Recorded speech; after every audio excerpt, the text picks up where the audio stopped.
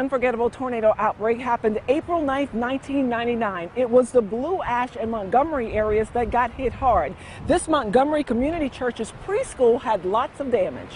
When I arrived and looked at the building, the roof had flown off of the upper level where the gym is, and the floor had buckled and had crashed down into the three rooms that were on this side of the preschool. The damage caused by the very system that spawned an EF4 tornado with winds upwards of 200 miles an hour. The tornado tore through homes, killing a couple inside, and tossed cars around, killing two more inside. The powerful twister leveled parts of Sycamore High School, homes, and businesses as it sliced a 10 mile path path through Blue Ash, Montgomery, and Symmes Township.